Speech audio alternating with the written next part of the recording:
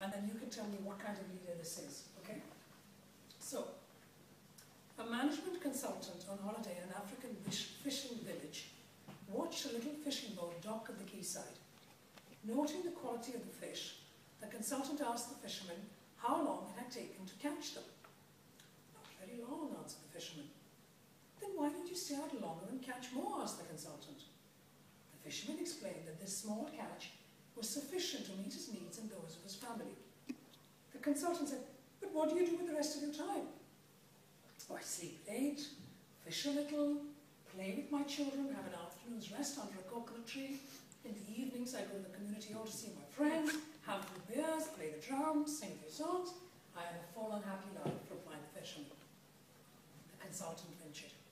I have an MBA from Harvard, and I can help you. should start by fishing longer every day. You can then sell the extra fish you catch. With the extra revenue, you can buy a bigger boat.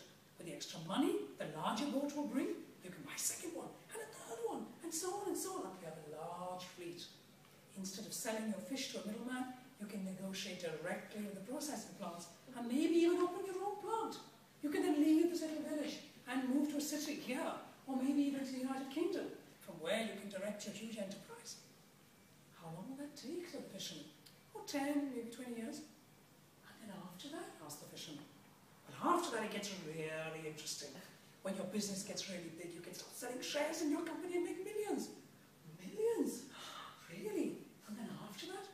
After that, you'll be able to retire, move out to a village by the sea, sleep late every day, spend time with your family, go fishing, take afternoon naps under a coconut tree, spend relaxing evenings having drinks with your friends.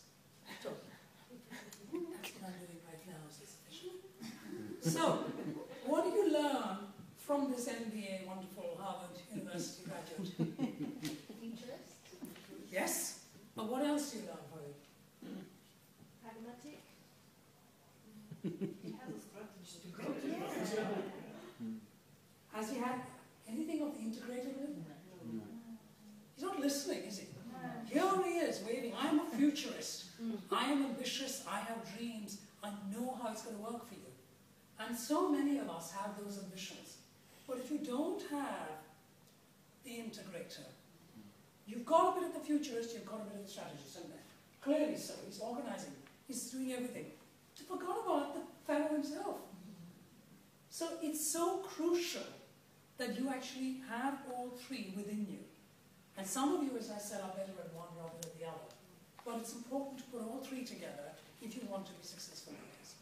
So, any questions on this short but sweet topic?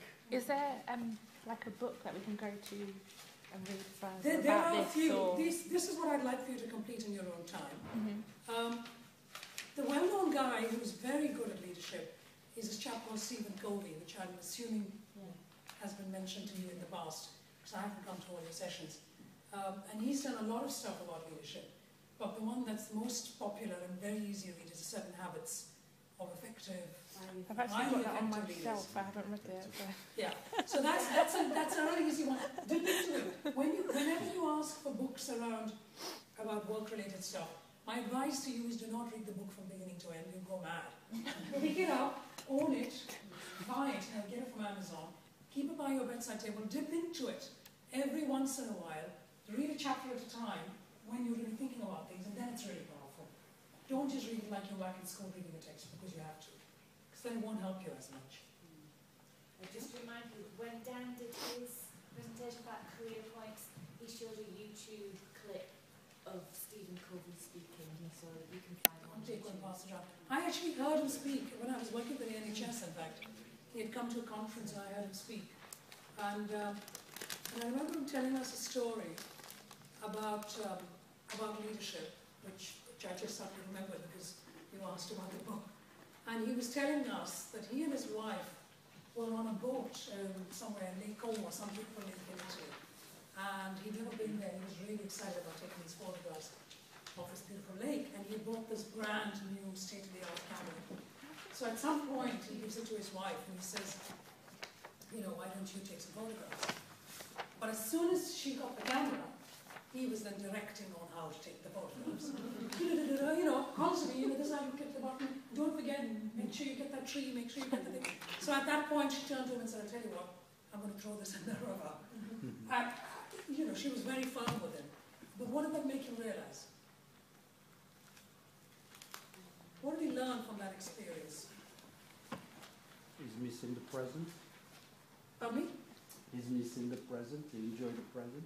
Well, that's true, but from a leadership aspect, I'm talking about. Like you Yeah. can't always control every aspect of the plan. It was about, it was very much about delegation. Yeah, the and she wasn't growing are- in her creativity. Yeah. No, and missing the president is absolutely right. But have you, you haven't drawn that one, I wasn't sure you asked enough around. Um, what was I saying? Yeah, missing the president is absolutely right. But equally, the thing is, if you are in a leadership position, chances are that you have a higher and better knowledge than your team. But that doesn't necessarily mean that you don't empower them. Yes, I know it all, and I'm not going to tell you. What's the point? That is not a successful leader, which is what Stephen Covey was doing on the boat with his wife. And because it was his wife, his wife said, I'm going to point in the, in the. If you don't stop and let me be. But if you're working, your teammates are not going to tell you that, but they might think that. And then they won't grow and develop. And they'll metaphorically throw their own skills on the river. Yeah? Hmm. Okay.